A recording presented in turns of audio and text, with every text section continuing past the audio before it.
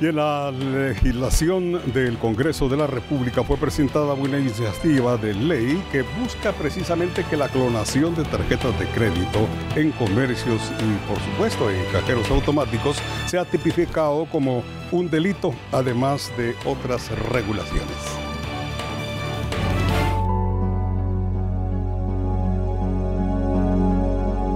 La iniciativa de ley de tarjetas de crédito busca proteger a los usuarios de este método de financiamiento y de las altas tasas de interés anual. También para quienes tengan una deuda de esta naturaleza puedan reestructurarla por medio de cuotas mensuales. El usuario puede reestructurar su deuda cuando considere que no puede pagar y cancelarla en varias cuotas. Algo importante en esto es de que el pago mensual al reestructurar la deuda no puede exceder del 20% de los ingresos del usuario. Resulta que muchas personas se acercan a solicitar un convenio de pago, pero les dicen que, que sí aceptan